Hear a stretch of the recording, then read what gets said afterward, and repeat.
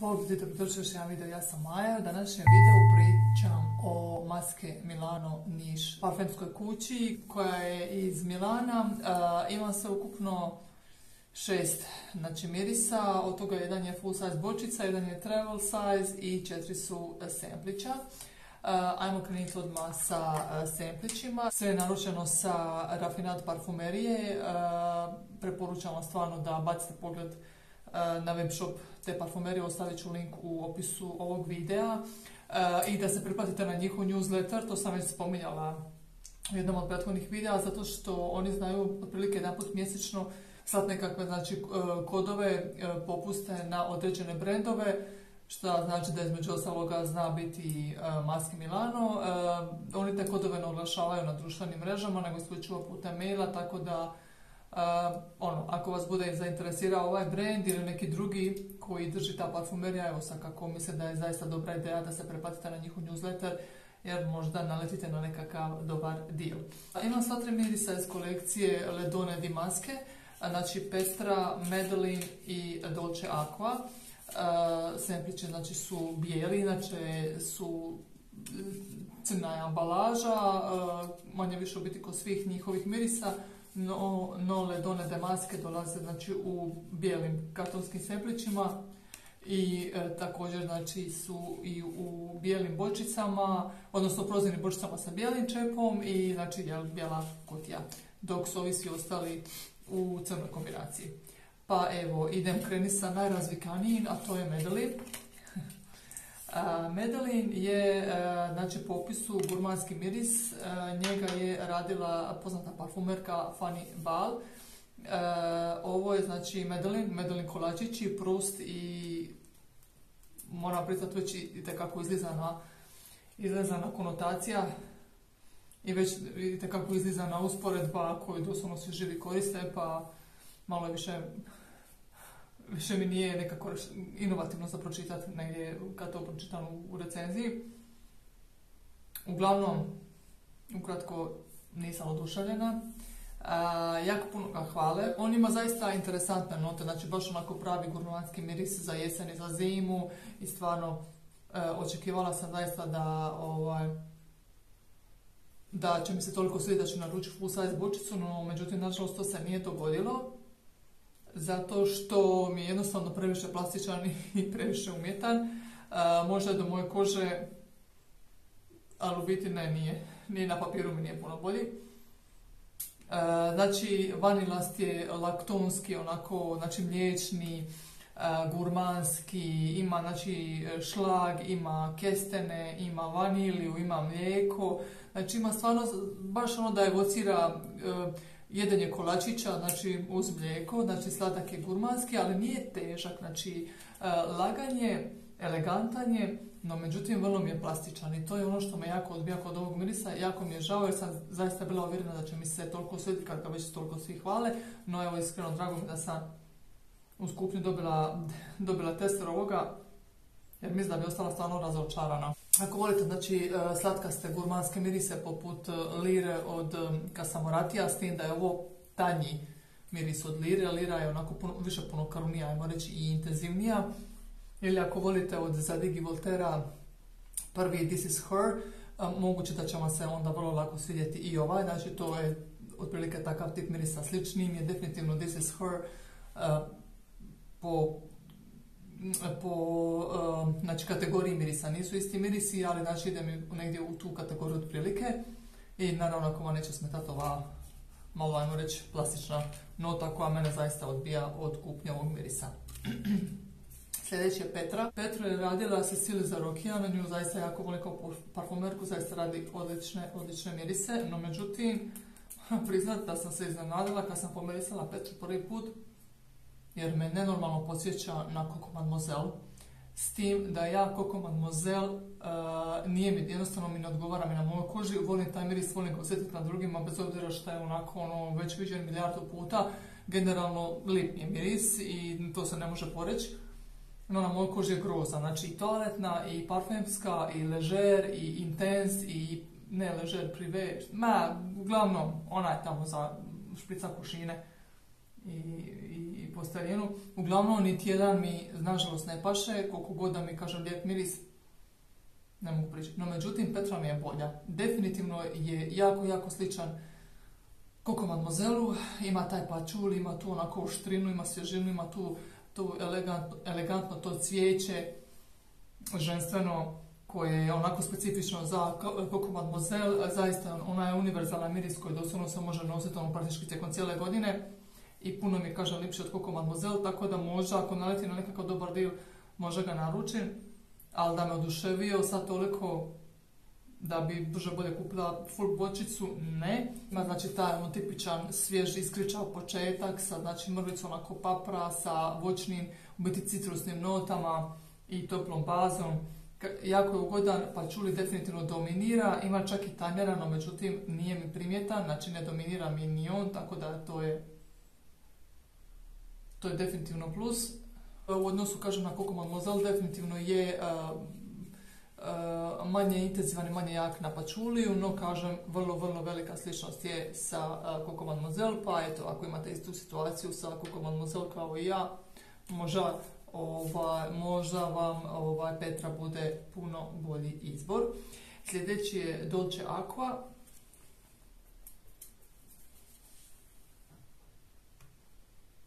Od sva tri u biti mi se Dolce Aqua nekako najviše dojmila, najviše mi se svidjela s tim da opet mi nije nekako, kako bi rekla, e, inovativan, e, drugačiji, poseban i ne znam sad nešto wow, nikad viđeno, nažalost nije. Ovo su doslovno, sva tri mirisa su baš onako nekako, kao da su išli na nekakav sigurni izbor, znači na nekako onaj mass market, kao u smislu da da, da znaju da će se uh, sva tri mirisa sigurno svidjeti znači velikoj većini ljudi, odnosno rađeno je, rađeni su gurmanski mirisi, rađeni su mirisi koji su za mlađu populaciju, kao što je Petra, Medellin za gurmansku i Dolce Aqua koja je malo više, ajmo reći, za, uh, za stariju, uh, za starije, s tim da, o, zato što je Dolce Aqua je doslovno ono, ne znam, Maske Milano verzija Chanela uh, broj 5, znači, opet kažem, išli su na nekakve te sigurne opcije već postojećih mirisa, s tim da nije definitivno onoliko kako bi rekla, ozbiljan i odrastao kao, na primjer, Chanel 5, no ide definitivno u tom smjeru. Jako je sapunost, ima taj pomalo, uh, ima taj pomalo, ajmo reći, retro uh, starinski štih, no međutim vrlo je elegantan. E, jako mi se sviđa, ovoga nekako mogu zamisliti baš nekako na nekoj možda malo starijoj gospođi, iako ne vidim razloga zašto ga neko ko voli ovakav tip mirisa ne bi nosio. No međutim, zaista mi se najviše svidio. Uh, ima mi, bez obzira znači, na taj dosta sapunasti i intenzivan uh, štih koji se proteže kroz cijeli miris, ima mi zaista nešto onako vrlo uh, elegantno i pomalo mladenačko što se nalazi u njemu. Trajno sva, miris, tri mirisa je onako ok, 6-7 sati otprilike će izdržati, nemaju mi neku veliku auru, do duše, mislim ima semplića, nije da ja sad ne mogu se nešto pošteno ni zaliti s njima, no a, sve u svemu od sva ta tri mirisa, kažem, nisam nešto wow, ostala toliko očarana, ok su, no mislim da ovaj brand ima definitivno bolje miris u ponudi i kažem, ovo je baš nekako rađeno kao za mass market. I zadnji semplić koji imam je Lost Alice. Znači, uh, e, ovo mi se čak i najviše svidio od sva četiri. Uh, jako interesantan i neobičajen. I za njega razmišljam baš da uzmem full size bočicu. Za Lost Alice je inspiracija, naravno, Alisa sa čudesa. Ono što je interesantno, uh, ima notu mrkve u sebi. Uh, Lagano je pudarast, svježe u top notama, ima papra u top notama, no međutim, e, vrlo brzo postane onako baš um, jako topao i ugodan. Uh, u, top, u baznim notama ima, ima mlijeko, ima sandalovinu i baš je onako jako topal, jako je ugodan u tim, u tim baznim notama. Jako je interesantan i neobičan, ne mogu ga usporediti s nekim drugim mirisom, no međutim, vrlo je onako topao. Nije težak, um, vrlo je nosiv onako, uh, ja prije bih ga stavila za jesen i za zimu, čajast je, ima notu čaja u sebi uh, i osjeti se baš pa nekako uh, lagana prozračnost čaja kroz to. Mrku kao takvu ne, definitivno to ne osjetim. Meni se sviđa baš zbog toga što je u biti originalan, malo je drugačiji i neobičajniji od mirisa koji sam do sada isprobala, tako da zaista ne mogu povući neku paralelu s nekim drugim mirisom. Ali mi se sviđa jako taj dobar balans, znači svježine, slatkoće, topline, znači ničega nema previše, kako sam rekla, nije niti pretežak, nije niti presladak, nije niti presvjež, sve zaista u jednom lijepom, lijepom balansu, tako da od sva četiri Seplića, ovaj Losteles mi je definitivno najdraži i iskreno naj, najzanimljiviji. Što se tiče ove note uh, mrkve, znači doslovno se nositi se tipičan miris te svježe uh, note mrkve, možda više onako torte od uh, mrkve, znači kao je pomišljena sa slatkim sa biskvitom, sa mliječnim, sa, znači sa svim još sa onom glazurom i slično, znači možda više onako taj aftertaste kakav ostavlja, ali skroz minimalno, minimalno, minimalno, znači nije definitivno nećete mirisati onako zemljano i, i, i, i mrkvasto, jer to se, kažem, uopće ni ne kuži, više onako kao da ide na granici sa, sa gurmanskim, ali nikad ne ode toliko daleko. Uh, Medellin je više gurmanski od Los Teles, tako da stvarno od svih odličan mi je. Travel ima tango, tango je također radila, radila. Tango je također radila Cecil Zarokian. Ovo je ovo je Abra, znači boja je fenomenalna, odmah po boji tekućine se može znati koliko je u biti miris jako intenzivan. Ovo je jedna izuzetno animalna nota ambre, jako je ono intenzivna i punokrvna e, ono Grand Soir je tako reći mala beba naspram tanga, znači stvarno je jako, jako intenzivan. možda bi se više svidio muškima nego curama, no međutim ako volite notu ambre, zašto ne? ima mi, inače mi na primjer od Juliette Hazagan Citizen Queen ima tu animalnu vibru tih onako balzamičnih ambrastih nota ova je još jači po tom pitanju s tim da je um, Citizen Queen um, uh, animalno puderast, a ova je uh, animalno začinski.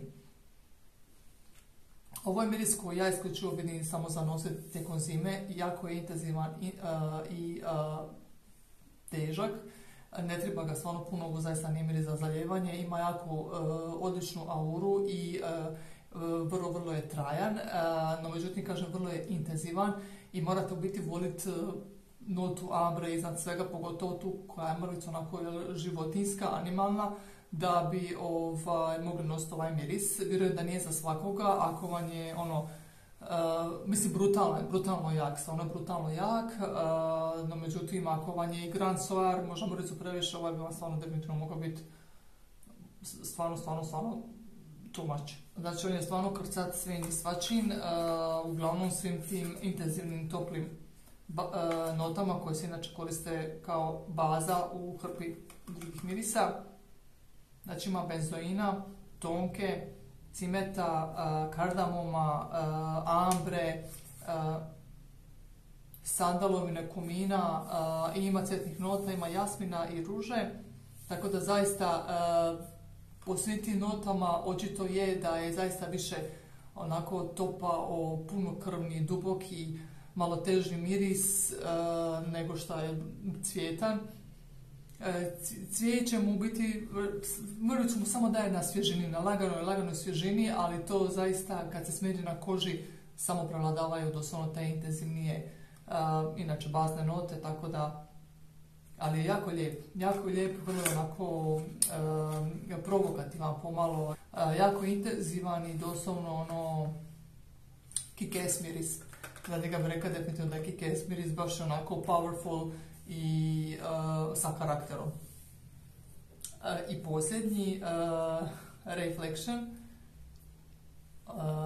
najljepši sam ostavila za kraj. Znači, inače, Maske Milano dolazi u ovakvoj znači ambalaži cool mi je skroz ambalaža, uh, straga pišu note i znači sprida ime mirisa i koga je kreirao. Uh, Alex Lee je kreirao Reflection. Sprayer uh, je fenomenalan, super raspašuje miris. Ovo je jedan tako prekrasan miris. Kupila sam ga na slijepo i uh, stvarno sam i, i više nego oduševljena koliko je jako je neobičan. Jako je neobičan Uh, drugačiji, uh, poseban je, zaista je poseban.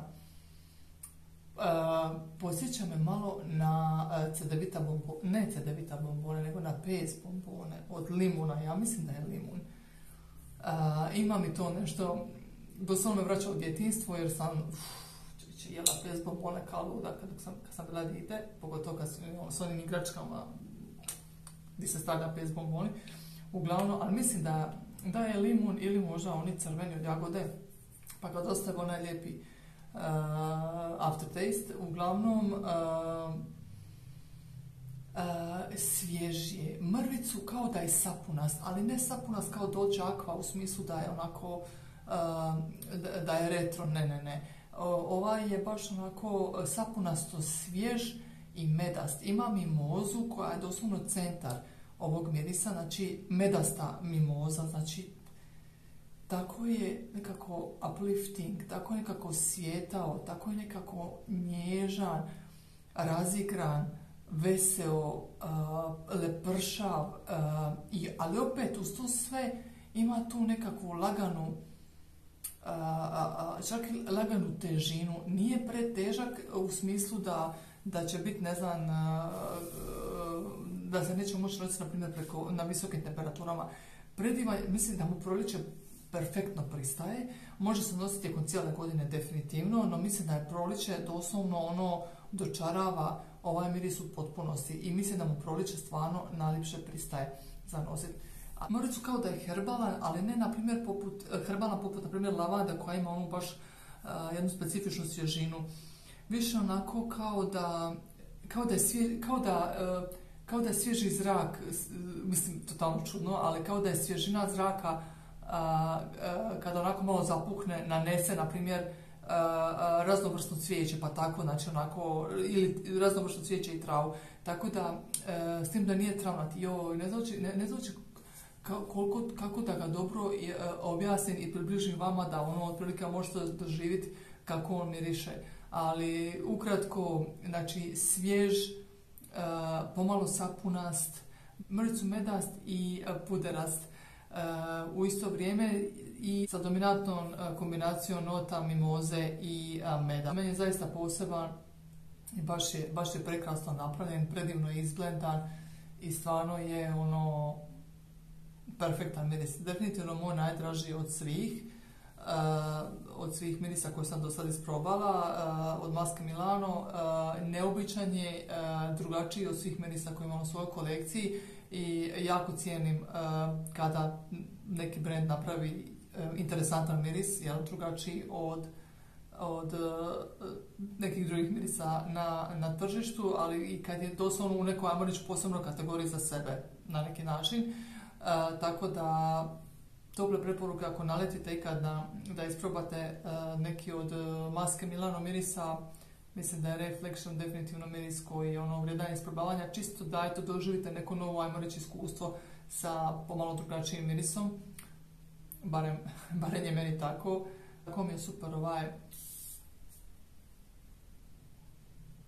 ovaj top nota koji me tako posjeća na, na pes bombon, pa to, to nije normalno, ali to se jako brzo smiri, jako brzo nestane i najviše dominacija na svježoj kombinaciji te znači mimoze i tih onako svježih nota, kažem pomalo herbalnih u kombinaciji sa uh, medo, med, medastim, nekakvim akordom, medastim elementom koji se nalazi u mirisu.